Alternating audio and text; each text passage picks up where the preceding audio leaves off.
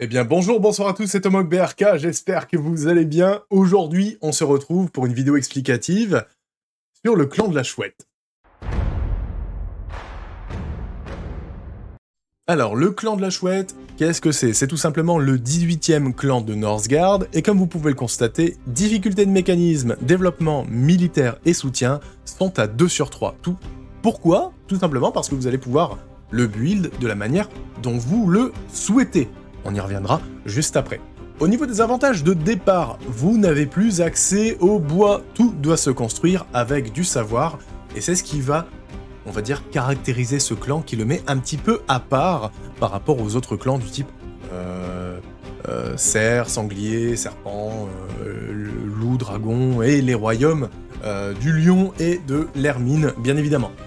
Vous avez une graine d'Yggdrasil dans votre zone principale, vous permettant de former jusqu'à 3 Nornes. Les Nornes vont remplacer certains érudits, vont remplacer euh, les éclaireurs, et à partir de 200 de renommée, ça va même remplacer les éclaireurs améliorés. On y reviendra juste après. Donc les Nornes vont vous servir vraiment pour le savoir, pour explorer, améliorer vos relations avec les factions neutres. Par contre, attention, les Nornes ne peuvent être utilisées que en territoire neutre. Gardez bien ça à l'esprit. Ensuite, les connaissances. Ce n'est plus comme les connaissances des autres clans avec un tableau. Là, on a vraiment une arborescence de, type arbre, en fait, qui va vous permettre de build votre clan vraiment comme vous le souhaitez. Vous voulez partir un petit peu de chaque, vous pouvez le faire. Vous, pouvez, voulez partir uniquement guerrier, vous pouvez le faire aussi.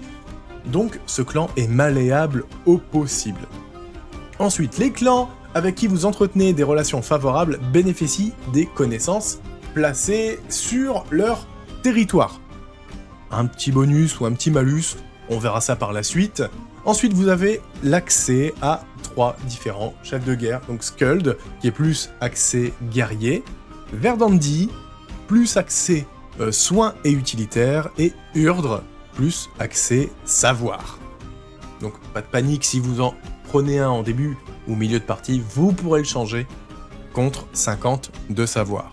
Vous allez voir, ça va extrêmement vite en milieu de partie, vous pouvez changer plusieurs fois, euh, euh, histoire de mener des raids sur vos adversaires, et ensuite revenir avec Verdandi et Urdre, ou Urdre plutôt, euh, pour améliorer votre, votre expansion et la génération de ressources. Ensuite, votre clan ne peut plus gagner en victoire par sagesse, par contre, c'est changé par royaume déchaîné. Ça coûte cher, mais ça vaut vraiment le coup et je vous montrerai tout à l'heure pourquoi. Et enfin, les cerfs et les poissons ne fournissent plus de nourriture, mais du bonheur. Donc arrangez-vous pour trouver des terres fertiles rapidement au cours de votre partie, sinon vous allez le sentir passer. Donc, les 200 de renommée, donc je vous l'ai dit tout à l'heure, permet d'explorer en territoire ennemi et d'y placer des branches d'Yggdrasil. Ça va vous permettre de euh, freiner euh, la, progression de votre adversaire ou alors d'améliorer la progression de vos alliés. Ensuite, lorsqu'un un clan entretient des relations favorables avec vous, les connaissances partagées vous octroient deux fois plus de savoir. Donc n'hésitez pas de s'en renommer, de prendre une norne et de l'envoyer en territoire adverse, histoire de trouver la maison commune, et ainsi regarder les connaissances que vous avez euh, en duo, afin de pouvoir y placer une branche et de bénéficier d'un peu plus de savoir. Parce que le savoir, je vous le rappelle, ça vous sert à construire et à plein, plein, plein d'autres choses. Le palier à 500, les zones peuvent abriter une branche d'Yggdrasil supplémentaire. Les connaissances de la chouette peuvent y être placées deux fois. Ça vous permet d'avoir un énorme bonus à partir de 500 de renommée. Et enfin, l'amélioration des relations avec un clan renforce les connaissances de la chouette sur le territoire de celui-ci. Donc n'hésitez pas à faire ami-ami avec énormément de factions, ça vous sera forcément bénéfique par la suite. Et enfin, la relique qui lui est propre, c'est le royaume de Myrdre. Myrdre. les zones améliorées peuvent euh, faire pousser une étendue de forêt, attirer les cerfs et les poissons. Je vous le rappelle, vous ne pouvez pas en bénéficier pour la nourriture, mais pour avoir du savoir. Et l'amélioration d'une zone, donc pour passer euh, de 3 emplacements à 4, ne vous coûte plus que 50 de savoir. Sur ce, on démarre tout de suite la partie. et on va s'attarder un petit peu sur l'arbre de compétences. Alors, on va regarder tout de suite l'arbre de compétences. Donc, comme vous le voyez, il est extrêmement différent de tous les autres clans du jeu. Ici, vous avez l'arbre croissance, l'arbre richesse et l'arbre puissance. Tout ce qui va se trouver ici va être en aspect militaire. Tout ce qui va être ici sera plutôt en aspect commerce. Et enfin ici, en ressources et développement. Vous, comme vous allez voir très rapidement dans la partie, vous allez vouloir mettre des terres fertiles, vous allez vouloir mettre un bois de fer, et aussi, bien évidemment, les herbes médicinales qui vont vous permettre de soigner vos unités et de gagner un petit peu plus d'expérience militaire. Donc, retour au jeu, vous voyez ici une graine d'Yggdrasil. Je vous invite à y placer des normes le plus rapidement possible afin de les envoyer ici explorer comme le ferait des éclaireurs avec un camp d'éclaireurs. Avec 3, vous allez pouvoir rester en positif en nourriture et trouver le plus rapidement possible une zone qui vous sera favorable. Comme vous le voyez, les zones limitrophes à notre maison commune ne sont pas forcément intéressantes. Ici, on n'a pas de nourriture parce que je vous le rappelle, on ne peut pas pêcher, on ne peut pas chasser. Le seul, on va dire, euh, emplacement qui est intéressant pour nous grâce aux terres fertiles est protégé par un loup. On n'a pas encore assez de savoir pour construire ici un camp d'entraînement et une maison. On va commencer par la maison et on va attendre un petit peu pour pouvoir ici nettoyer, nettoyer cette zone. Comme avec les autres clans du jeu, n'oubliez pas, partez en exploration le plus rapidement possible pour chercher le centre de la map. Ici, on va prendre cette zone-là et on va créer, ou du moins former, un érudit. Ça nous permettra d'acquérir ici notre camp d'entraînement le plus rapidement possible afin de prendre cette zone-là. Nous venons de trouver le centre de la map avec l'épée des dieux. C'est le centre de la map qui est le plus favorable pour nous, étant donné qu'on va pouvoir y mettre des érudits. Petit tips, n'hésitez pas à aller chercher le plus rapidement possible la maison commune adverse, ça vous sera forcément bénéfique par la suite. Une fois trouvé, ou du moins déduit, vous pourrez renvoyer vos nornes, explorer le reste de la map pour trouver peut-être un Cromlech qui vous sera lui aussi très utile grâce à vos normes.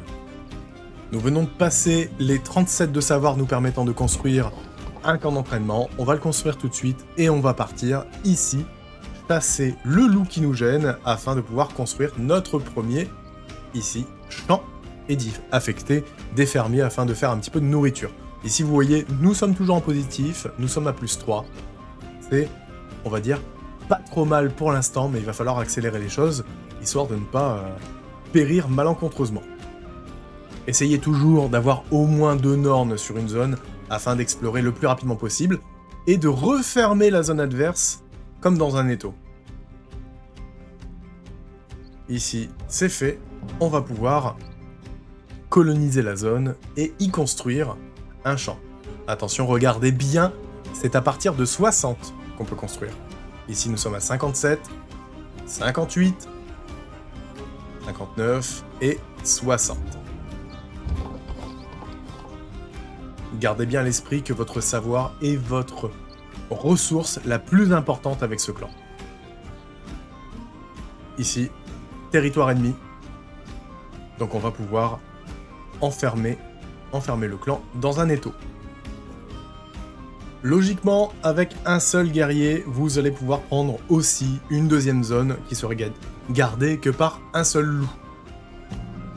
Faites le bien avant l'hiver, sinon ça ne passera pas. Et voilà. Ça y est, on ne peut plus explorer en territoire adverse, étant donné qu'ici c'est protégé avec des montagnes de pierre, et ici c'est déjà colonisé. Donc, on va envoyer tout de suite nos Nornes explorer les contrées de Northgard. Par ici, je pense que c'est mieux, comme ça on va remonter par la suite. Et enfin, on va essayer d'explorer les ruines. Alors, ici, notre objectif est de trouver les factions neutres et de trouver des emplacements comme des pierres runiques ou alors des cromlechs afin de générer un maximum de savoir et pour les factions neutres, de gérer des relations avec elles le plus rapidement possible grâce à vos comptoirs. Petit tips avec le clan de la chouette, dans un premier temps, n'utilisez pas votre savoir pour prendre ici des connaissances, mais utilisez-le plutôt pour aller chercher des constructions. Ça vous sera beaucoup plus bénéfique en début de partie. Pendant ce temps, n'hésitez pas à explorer la map le plus possible afin de pouvoir libérer vos nornes de cette tâche et de les permettre de euh, d'explorer les ruines, mais aussi peut-être de générer du savoir grâce au Chrome Lake ou au Pierre de Savoir. Chose très importante avec ce clan, le Doc à Drakkar. Pourquoi? Parce que celui-ci va vous permettre de générer du savoir. Comme le ferait du bois, ça va vous permettre de construire, mais aussi d'utiliser votre savoir pour votre arbre de compétences. Donc n'hésitez pas à le construire extrêmement rapidement, même avant les mines. Ça vous sera plus utile, on va dire, dans votre développement. Alors nous venons de découvrir le clan qui nous fait face, c'est le clan du serpent. Et nous venons aussi de terminer l'exploration de la map, ce qui va nous permettre de libérer nos nornes de cette tâche ingrate et de pouvoir les envoyer directement produire du savoir. Ici, vous voyez que les nornes produisent 3 par affectation à un lieu produisant de la sagesse. Donc ici, nous sommes à plus 14 grâce à notre population, nos nornes, nos érudits et nos marins. Voilà pourquoi avoir un dock à Drakkar est très intéressant. Ici, nous allons pouvoir coloniser et utiliser, dans un premier temps, nos savoirs. Alors, quel savoir va nous être le plus utile ici Je pense terre fertile, donc pour pouvoir ici créer un champ. Et un autre savoir qui est lui aussi utile, alors on va le voir tout de suite après, étant donné que j'ai besoin de maison. Hop, Une maison ici et on va envoyer construire. Alors, un savoir qui est très utile, c'est bois de fer. Bois de fer, qu'est-ce que c'est? Ça vous permet de collecter du minerai petit à petit, de manière passive, avec une zone qui abriterait, euh, on va dire ici, euh, une, carrière, une carrière de pierre ou de fer. Les zones qui en comportent plusieurs, qui sont gardées par beaucoup d'ennemis, sont extrêmement intéressantes. Je vous conseille bien évidemment d'aller en chercher des très très loin de votre adversaire, parce que si vous n'avez pas de relation, on va dire saine, avec votre adversaire, la branche n'a plus d'effet. Donc ici, on va pouvoir commencer à générer un maximum de nourriture et envoyer coloniser le plus de zones possible afin d'améliorer notre renommée et d'avoir le palier à 200 tant convoité. Nouveau savoir débloqué, et ici, nous avons des nains qui est extrêmement intéressant avec ce clan. Et vous avez Sport Hypnotique, donc qui va vous permettre d'améliorer vos relations avec une, avec une faction ou un clan de manière passive si une norne y est, euh, y est affectée. Ici, une norne vous donne accès directement à 20 de relations, et grâce à cette branche, ça va augmenter de manière passive, pourcent par pourcent, jusqu'à temps que vous obteniez deux nains vous permettant de forger et de miner tranquillement sur votre territoire. Ici, on va en profiter, nous allons créer un petit silo afin de ne pas tomber ici en surplus de nourriture. Alors, d'un point de vue typiquement militaire, quelle voie militaire devons-nous choisir avec le clan de la chouette? Ici, comme le clan est extrêmement malléable, vous pouvez très bien choisir de partir commandement, gardien ou légion. Si vous souhaitez avoir une grosse armée, légion est bien plus avantageuse que les autres. Si vous souhaitez Turtle et donc vous défendre et vous visez une victoire euh, commerciale, prenez gardien.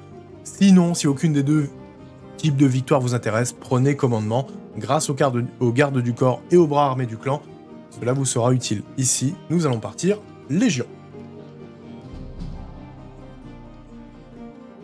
Comme vous pouvez le voir, les relations s'améliorent extrêmement rapidement. On vient juste quasiment de mettre notre, notre branche ici sur la grotte des nains et nous sommes déjà à 30% de relation. Donc n'hésitez pas à poser vos branches de cette manière, ça va extrêmement rapidement. De plus, ici, vous voyez que les kobolds ont conquis la zone. Par contre, je produis toujours du minerai grâce, ici, à la branche d'Yggdrasil, bois de fer. Donc, profitez-en si vous voyez une zone avec beaucoup de minerais, plantez-y une branche.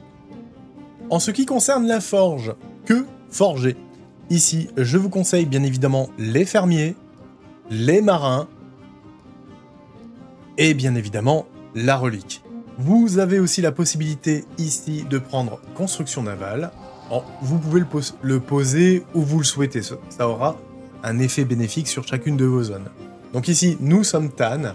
Donc comme vous l'avez compris, on va pouvoir placer une deuxième branche, mais aussi envoyer tout de suite notre Norne explorer en territoire adverse. Vous le voyez, le clan adverse commence à s'étendre de manière un petit peu dangereuse, et nous, on va aller chercher à l'embêter le plus possible. Autre savoir intéressant, ici, la menuiserie avancée. Vous allez pouvoir donc bénéficier d'une petite ristourne sur le coût d'amélioration de vos bâtiments.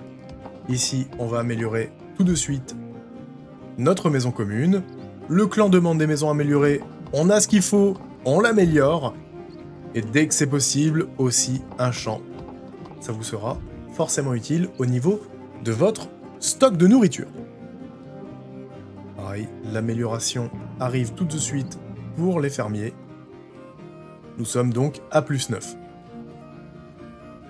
On a trouvé la maison commune, on n'a pas d'informations, étant donné qu'on n'est pas encore en relation stable, voire neutre avec eux, mais une fois qu'on aura, on va dire, amélioré nos relations, on va pouvoir voir son niveau de bonheur, de nourriture, de bois et de crown, plus tard, les connaissances que ce clan a appris, et enfin, en étant partenaires commerciaux, les routes commerciales établies avec ce clan génèrent plus de crown et rapportent plus de ressources. Donc n'hésitez pas quand vous avez une norne, on va dire, qui ne sert plus à euh, générer du savoir, envoyez-la sur, euh, sur une maison commune. Alors, si elle euh, ne fait plus de savoir, ou si votre relation avec une des factions neutres est arrivée à terme. Il est temps pour nous de recruter notre chef de guerre. Donc vous avez le choix entre Skuld, qui va avoir un bonus d'attaque de 5% par connaissance, ici, euh, en puissance déverrouillée. Vous avez Verdandi, qui, euh, qui protège Yggdrasil et qui augmente la production de la zone de 5% par connaissance de croissance. Ici, on a un bonus de 10%. Et on a Urdre, qui va nous donner un peu plus de savoir. Ici, on va choisir Verdandi, et on va l'envoyer à une zone qui produit, peut-être par hasard, de la nourriture. Vous voyez, on passe de 14 à 16, et c'est l'occasion pour nous de lancer un petit festin. On va bientôt envoyer nos unités chercher cette zone-là afin de récupérer un maximum de fer et de s'approcher de l'épée des dieux. Ça y est, toutes les zones de Northgard ont été découvertes. Donc la Norne qui était partie ici pour faire de l'éclairage, on la renvoie faire du savoir. Vous pouvez aussi l'envoyer à l'épée des dieux. Donc ici, on va changer d'itinéraire et on va l'envoyer ici. Vous pouvez envoyer toutes vos nornes, sauf celles qui s'occupent des relations passives avec une faction neutre, donc ici les nains, pour produire un maximum de savoir et arriver le plus rapidement possible à la fin d'une branche. La fin d'une branche va vous permettre de déverrouiller un savoir unique au milieu de votre arbre. On y reviendra dans quelques instants. Ici, ce qu'on va aller chercher, c'est de renforcer les branches déjà existantes sur une zone. Nouvelle compétence déverrouillée, on va choisir la terraformation. La terraformation va vous permettre en posant une branche, une branche pardon, de bénéficier ici par exemple des 5% de la puissance d'attaque grâce au courroux de Thor. Si vous mettez ça sur, ici, par exemple, une forêt, vous allez bénéficier de 6%, enfin de 6, 6 euh, points de savoir supplémentaires. Ici, on va prendre les points de savoir. Étant donné qu'on peut poser une seconde branche à 242 savoir, on va prendre les 5% de puissance militaire. La relation avec les nains étant à 100%, nous allons donc pouvoir envoyer notre Norn générer encore un petit peu de savoir. On aurait très bien pu l'envoyer ici à une autre maison commune, mais on n'en a pas spécialement besoin, étant donné que nous allons surtout viser la victoire militaire. Donc pour ce faire, on va déjà commencer par ici améliorer la puissance de Verdandi, avec peut-être une branche par là, nous donnant aussi le titre de Jarl, et on va viser ici à 480 la puissance, euh, l'arbre de puissance, donc la source d'Urbar Brunr. Qu'est-ce que c'est compliqué Mais on y arrive très prochainement, vous inquiétez pas, et vous allez comprendre tout de suite pourquoi.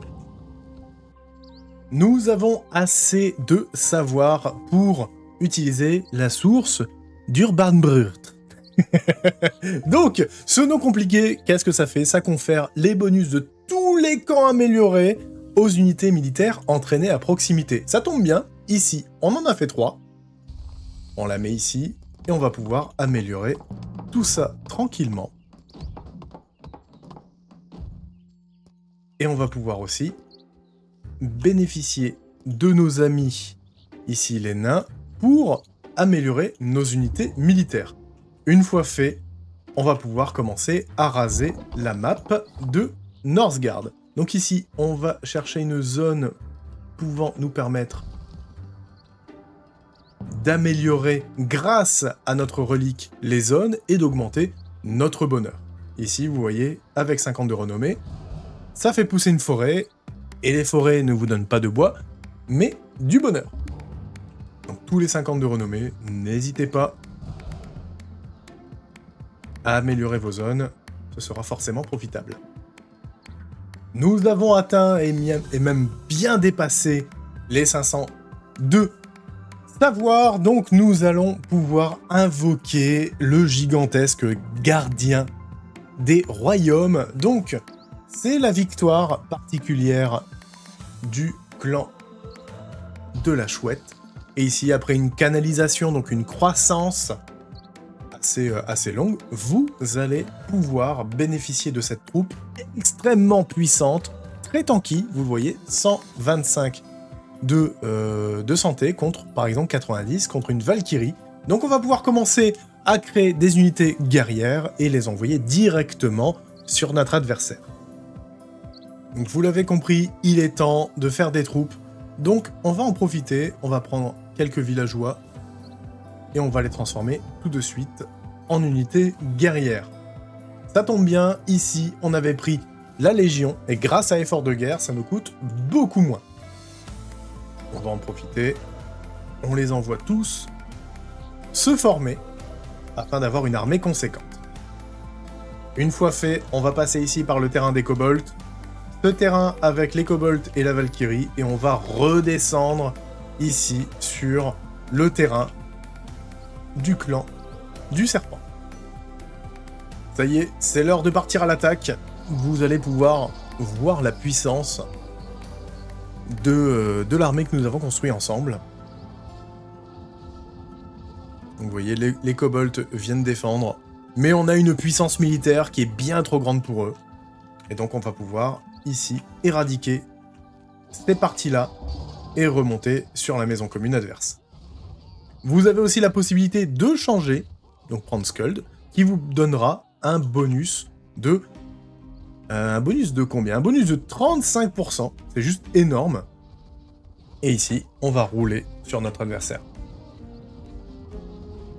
Donc pour obtenir le type de victoire, il faut trois zones à décoloniser. Ici, voilà la première. Et quand vous cliquez ici sur le gardien, gardien des royaumes, pardon, vous avez trois zones à reprendre à votre adversaire pour pouvoir gagner avec la victoire particulière de ce clan. Ici, ce ne sera pas possible parce qu'on va pouvoir faire 1, 2 et 3, forcément, c'est la maison commune, étant donné qu'ils n'ont pas pris ici les, euh, zones qui sont là. Je pense que la tempête de, euh, la tempête de glace a eu un effet un peu trop fort sur, le clan du serpent, donc ils n'ont pas pu se, développer comme il euh, comme il l'aurait voulu. Tant pis pour lui, on va avancer sur sa maison commune, et on va terminer cette partie. Et voilà. Ils ont beau avoir un Jotun, ça ne sera d'aucune utilité pour eux. Donc, au niveau du lore, vous avez compris, ici pour la richesse, merci. Ici pour la croissance de votre clan, et ici pour la puissance militaire. D'ailleurs, ici, légumes parasites est très intéressant, étant donné que à la fin de chaque cycle, vous allez récupérer des ressources de votre adversaire. Donc ça peut être de la nourriture, du savoir, des crowns. C'est plutôt puissant à mettre en début, milieu de partie.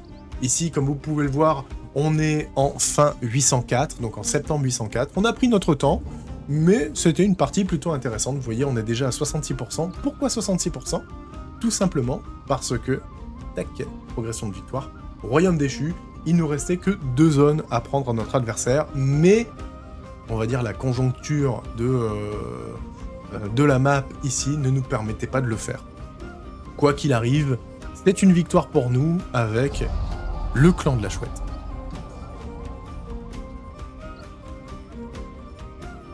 Et voilà, c'est déjà la fin de cette vidéo sur le clan de la chouette. J'espère que celle-ci vous aura plu. Merci d'être euh, encore présent à ce moment-là de la vidéo.